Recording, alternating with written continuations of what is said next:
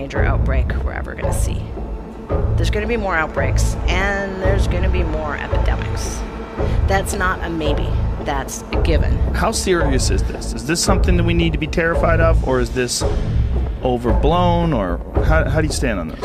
Well, first of all, you have to understand the timing of it in the sense that it's just beginning. Today, the World Health Organization officially announced that this is a global pandemic. Countries such as Italy and Iran are in the middle of the battle. Elsewhere, the impact of COVID 19 is just beginning.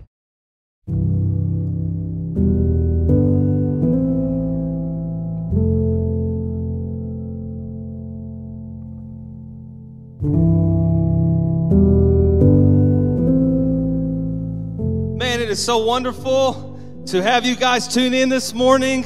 I've been thinking about you guys like crazy, praying for everybody. I hope that you're praying for us as well. I hope everybody is praying for everybody, man. That's what church family is all about. So happy to be here this morning. So glad that you guys are all tuning in in your living rooms and in your kitchens and in your bathrooms or wherever you're watching this morning. Happy Easter! We are so happy to have you tuning in with us uh, this morning on the greatest day of the year for every believer. And man, this is my favorite day of the year.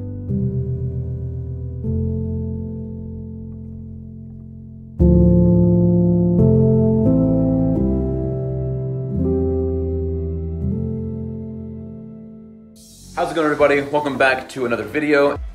Cameron, which came first in your opinion, the chicken or the egg? Hmm, that is a very Expound good on question. that. Little doses, guys. That's what the label said. Finish strong, boys. under my nail. This is big. Oh! That's what I'm talking about. Don't let him show you up, Zach Draper. Cameron, buddy. I don't, Don't let him show you up.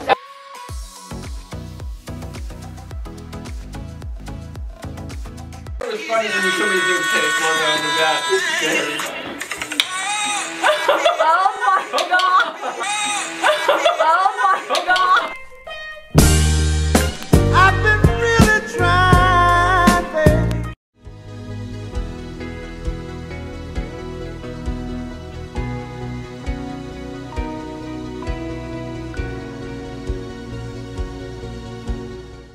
King's House. Man, I just wanted to take a few minutes and uh, say hi to everybody. I hope you guys are doing good. I know it's crazy times. Um, I just want you to know that we are praying for you guys, thinking about you guys, still available to you as much as we possibly can be. The presence of God was up in this place, and I hope you felt it in your homes, in your kitchens, wherever you were. I'm so jealous of you. I see all these pictures of everyone tuning in. Guys, it's a great opportunity to worship this morning with. From the ashes, hope is rising.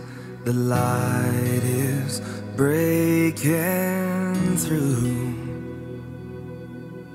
He's taken all our broken pieces and making something new.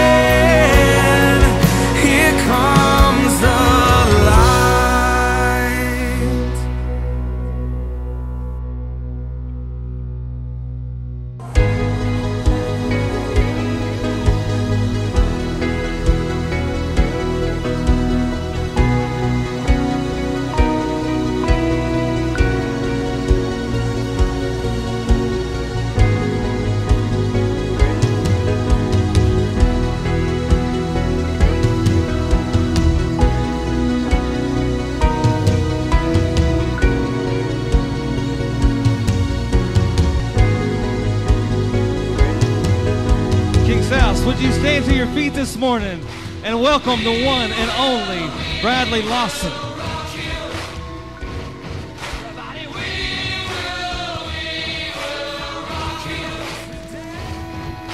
You want to go say hi to Spider Man? You can. Go give Spider Man a hug. Oh my goodness.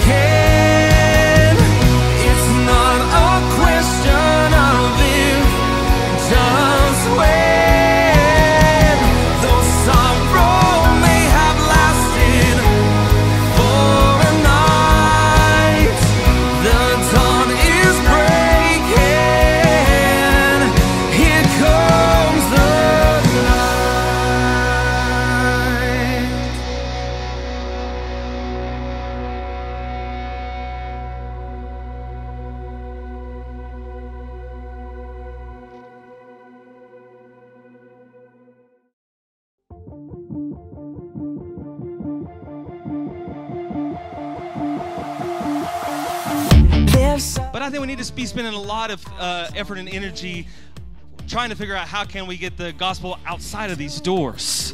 You know what I'm saying? So uh, the, ultimate goal has been has been this that how can we love people outside of these walls? How can we be the the actual hands and the feet of Jesus on a whole different level on a Sunday morning? So uh, we've had some conversations, and um, so this morning I want to officially launch the campaign. The ultimate goal is that Loaves of Love is going to have a food truck. And we are going to carry the love and the hope of Jesus Christ.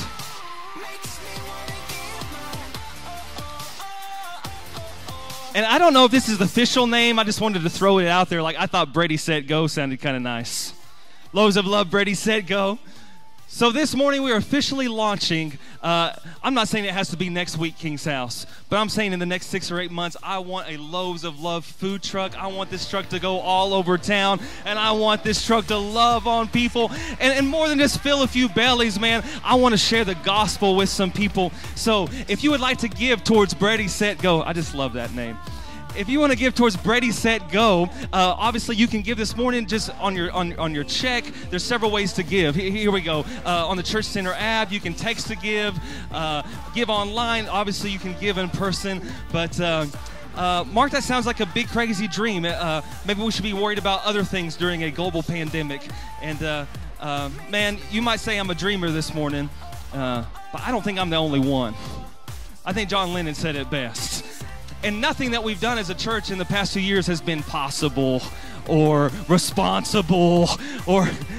And we just keep moving forward, and God just keeps blessing us. So, hey, I got some faith this morning, King's House. I don't know about anybody else, but this church is going to make a difference in this community in a huge way. And we're never going to stop, and we're never going to slow down because that's the job of the church. Say amen, somebody.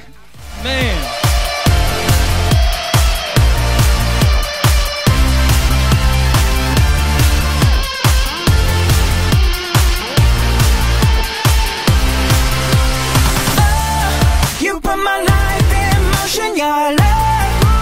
Make